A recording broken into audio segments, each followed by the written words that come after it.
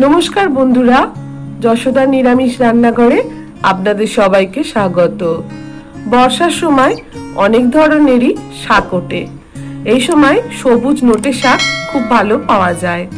তো সেই নোটে শাকের চচ্চড়ি আজকে আপনাদের জন্য নিয়ে এসেছি। নোটে শাকের চচ্চড়ি মোটামুটি সবাই করতে পারেন। তবে এতে দু একটা সামান্য উপকরণ যোগ করলে এর স্বাদটা দ্বিগুণ হয়ে যায়। কি উপকরণ যোগ করলে এর স্বাদটা দ্বিগুণ হবে। আজকে সেটাই আমার রেসিপি চলুন তাহলে দেখা যাক কি উপকরণ যোগ করে আমি এই নোটে শাকের চচ্চড়িটাকে দ্বিগুণ স্বাদের বানালাম।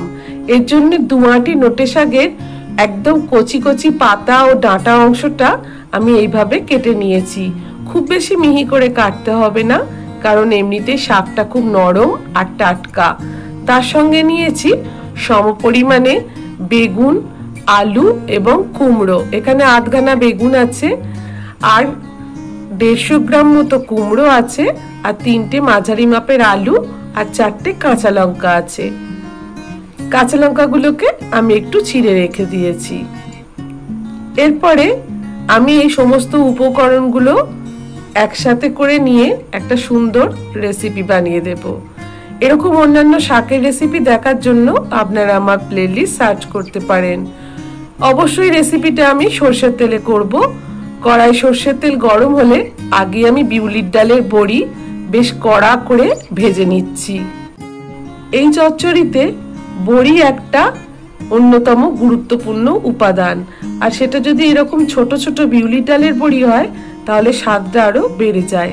এরপর ওই তেলের মধ্যেই আমি দিয়ে দিলাম পাঁচ ফোড়ন এবার গ্যাসের আঁচটা মিডিয়াম টু হাই করে চেরা, দুটো লঙ্কা এর মধ্যে আমি দিয়ে দিচ্ছি। এরপরে একটু ভেজে নেওয়ার পরই এর মধ্যে আমি যোগ করে দেব হিং। যেহেতু এটা নিরামিষ চচ্চড়ি, হিংটা দিলে খুব সুন্দর একটা গন্ধ ওঠে আর হিম হজমেও সাহায্য করে। এর মধ্যে কেটে রাখা কুমড়োটা আমি আগে দিয়ে দিলাম। কুমড়োটা একটু নেড়ে চেড়ে পনেরো সেকেন্ড মতো ভেজে নিয়ে কেটে রাখা আলুটাও আমি দিয়ে দিলাম। এবার আলু আর কুমড়ো এক থেকে দেড় মিনিট একটু ভেজে নিচ্ছি। তারপরে আমি যোগ করে দিলাম কেটে রাখা বেগুনটা। এবার আলু, কুমড়ো ও বেগুন একসাথে দুই থেকে তিন মিনিট ভেজে নিলাম। এর মধ্যে দিয়ে দিচ্ছি পরিমাণ মতো হলুদ গুঁড়ো দিয়ে আবার নেড়ে চেড়ে নিচ্ছি। আমরা এই রকম চচ্চড়ি এই সময় খুব খেতে ভালোবাসি আর এটা স্বাস্থ্যের পক্ষেও খুবই উপকারী। কিছুক্ষণ ভাজার পর আমি এবার এই স্পেশাল উপকরণটা যোগ করব। এটা হলো মুগের ডাল। কাঁচা মুগের ডাল দু চামচ এইভাবে এই সময় যোগ করে দেবেন। আলু, কুমড়ো আর বেগুনটা বেশ ভাজা হয়ে যাবার পরেই এই সময় মুগের ডালটা যোগ করে দেবেন। দিয়ে এবার নেড়ে চেড়ে আরও তিন থেকে চার মিনিট আমি মিডিয়াম টু লো ফ্লেমে ভেজে নিলাম। এরপরে আমি যোগ করে দিচ্ছি কেটে রাখা শাকটা। এখানে দু আটি পরিমাণ শাকের কচি অংশটুকু আমরা নিয়েছি। দেখতে অনেকটা মনে হলেও এইভাবে ভাজতে ভাজতে দেখবেন শাকটা একদম কমে আসবে। মিডিয়াম ফ্লেমে ক্রমাগত নাড়াচাড়া করার পর দেখুন শাকটা কতটা পরিমাণে কম হয়ে গেছে। আর এইভাবে ভাজতে ভাজতেই শাকটা থেকে সমস্ত জল বেরিয়ে আসছে। একটু নেড়ে চেড়ে ভেজে নেওয়ার পর এখানে দিয়ে দিলাম পরিমাণ মতো নুন। আর দেব দু চামচ চিনি। এটা আপনাদের স্বাদ অনুযায়ী আপনারা দেবেন। আবারও দু থেকে তিন মিনিট এইভাবে নেড়ে চেড়ে মিশিয়ে নিচ্ছি। পুরনো বন্ধুদের অসংখ্য ধন্যবাদ পাশে থাকার জন্য। আর নতুন বন্ধু হলে চ্যানেলটি সাবস্ক্রাইব করে পাশে বেল আইকনটি টিপে অল ক্লিক করে দেবেন। তাহলে আমি যখনই কোনো নতুন রেসিপি আপলোড করব, আপনার কাছে সমস্ত রেসিপি পৌঁছে যাবে। এবার দেখুন, ভাজা হয়ে যাবার পর খুব সামান্য পরিমাণে একটু জল দিয়ে দিচ্ছি। আলু, বেগুন আর কুমড়োটা একটু সেদ্ধ হতে এখনও বাকি আছে। খুব ভালো করে জলের সাথে সবজিগুলো মিশিয়ে দিয়ে ঢাকা চাপা দিয়ে মিডিয়াম ফ্লেমে পাঁচ থেকে সাত মিনিট একটু রেখে দিয়েছিলাম। প্রায় সাত মিনিট পরে চলে এসেছি। জলটা আমার শুকিয়ে গেছে। এই সময় ভেজে রাখা বড়িটা এখানে আমি এখন যোগ করে দিলাম।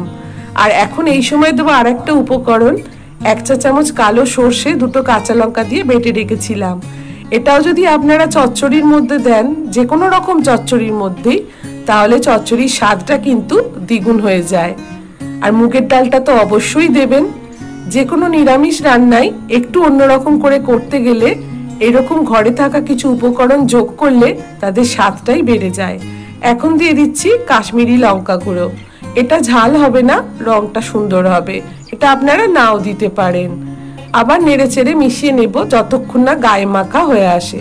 দেখুন, বাটনাটা শুকিয়ে গিয়ে চচ্চড়িটা আমার খুব সুন্দরভাবে সিদ্ধ হয়ে গেছে আর দেখতেও কতটা সুন্দর লাগছে। আর গন্ধটাও খুব সুন্দর বেরিয়ে গেছে। তৈরি হয়ে গেল আমার নোটে শাকের চচ্চড়ি। গ্যাসের ফ্লেম অফ করে কিছুক্ষণ স্ট্যান্ডিং মুডে রেখে দেখুন পরিবেশনের জন্য প্রস্তুত হয়ে গেছে। কেমন লাগল আপনাদের অবশ্যই কমেন্ট করে জানাবেন। যদি কোনো ভুল ত্রুটি হয়ে থাকে, সেটাও কমেন্ট করে জানাবেন। আর আপনারা কি ধরনের রেসিপি আমার থেকে দেখতে চান, সেটাও অবশ্যই কমেন্ট করে জানাবেন এবং রেসিপিটা যেন অবশ্যই নিরামিষ হয়। সবাই ভালো থাকবেন, সুস্থ থাকবেন। আর একদিন আর একটা রেসিপি নিয়ে চলে আসব। जय गोपाल।